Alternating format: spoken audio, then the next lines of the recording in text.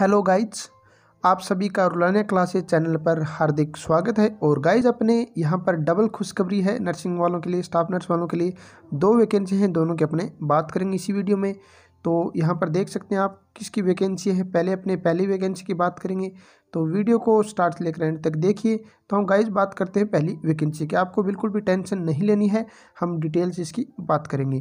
तो आप ये देख सकते हैं, जिला स्वास्थ्य समिति अररिया के द्वारा गाइज़ पहली वैकेंसी निकली है। तो इसमें हम बात करें तो ये कॉन्ट्रैक्ट बेस की वैकेंसी लेकिन काफ़ी बढ़िया रहने वाली है। यहाँ पर देख सकते हैं, ये जो आपका कॉन्ट्रैक्ट होगा या फिर अपने बात करें किस प्रकार आपका सिलेक्शन होगा तो ये वोक इन इंटरव्यू के आधार पर आपका सिलेक्शन होगा। और गाइज़ इसका वोक इन इंटरव्यू होगा सात छः दो हज़ार इक्कीस को। अब देखते हैं गाइज़ क्या डिग्री है, कौन सी पोस्ट है, सब बात करें। सबसे पहले गाइज़ आती है फिजिशियन की।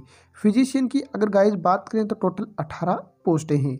तो गाइज़ यहाँ पर कैटेगरी वाइज जो पोस्ट हैं, ये भी आप देख सकते हैं, लेकिन हम बात नहीं करेंगे, नहीं तो वीडियो बड़ा हो जाएगा।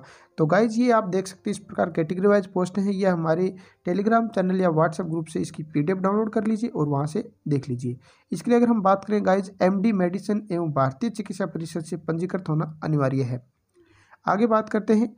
मूर्छक की एक टोटल यहाँ पर तीन पोस्ट हैं। उसके बाद गाइज़ हम मुख्य रूप से बात कर रहे हैं जीएनएम की।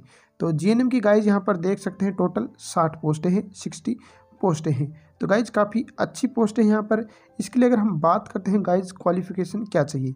तो कोई भी मान्यता प्राप्त संस्थान से जीएनएम का प्रशिक्षण कोर्स कर का है और आपका यहाँ पर बिहार परिचारिका निबंध परिषद से निबंधित होना ज़रूरी है। यानी बिहार नर्सिंग काउंसिल में आपका रजिस्ट्रेशन भी होना ज़रूरी है।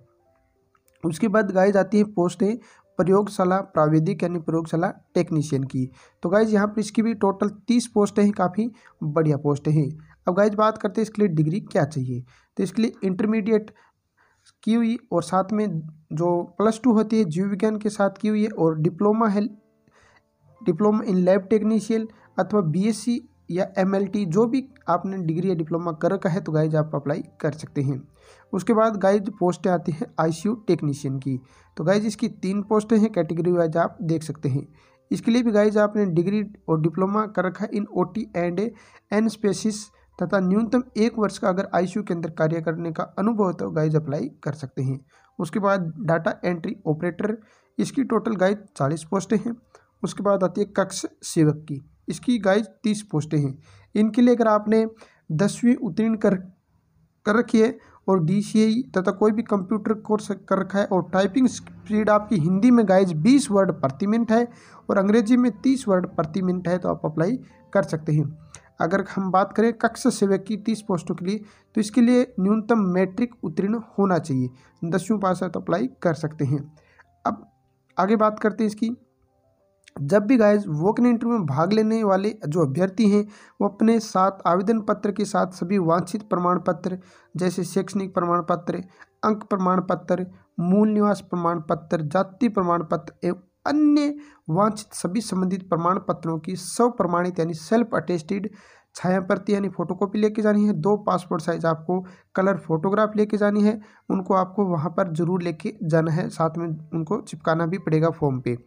आवेदन में भरी गई सूचनाओं को मूल निवास प्रमाण पत्र अंक प्रमाण पत्र से मिलान करने के क्रम में किसी भी प्रकार के अगर गाइज़ त्रुटि पाई जाती है तो उम्मीदवार की उम्मीदवारी वहाँ पर रद्द कर दी जाएगी। अब बात करते हैं गाइज़ इसकी एज की।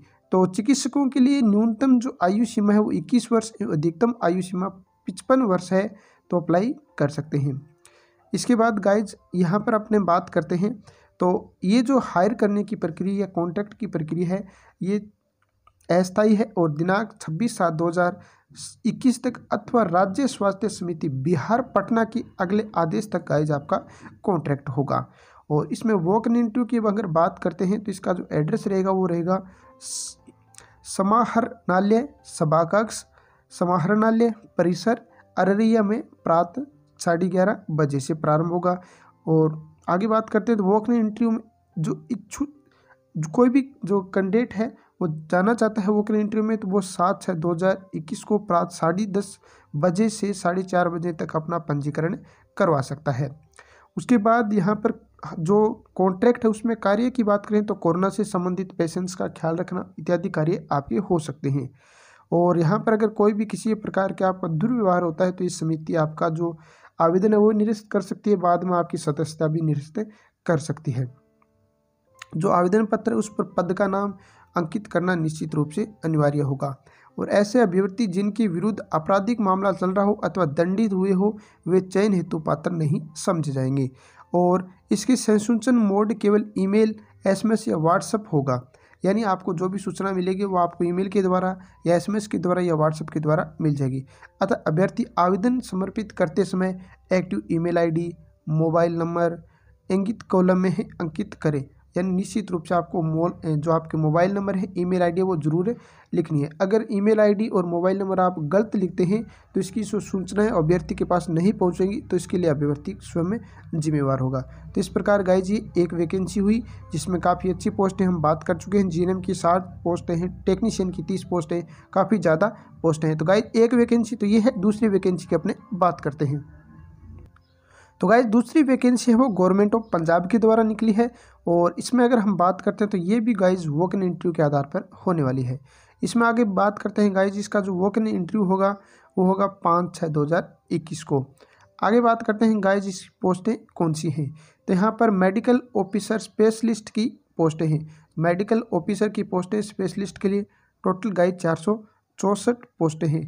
पे स्केल आपका तिरपन हज़ार सौ रुपये रहने वाला है। तो इसके लेकर आपने M B B S degree कर रखी है और आपका पंजाब मेडिकल काउंसिल के अंदर रजिस्ट्रेशन है तो आप अप्लाई कर सकते हैं। तो गाइज़, ये थोड़ी हाई लेवल की वैकेंसी है, मेडिकल ऑफिसर की पोस्ट है, चार सौ चौंसठ है। इन सभी की गाइज़, आप पीडीएफ प्राप्त करना चाहते हैं तो आप हमारे टेलीग्राम चैनल या व्हाट्सएप ग्रुप से प्राप्त कर सकते हैं। दोनों की लिंक आपको गाइज़ वीडियो के डिस्क्रिप्शन में मिल जाएगी।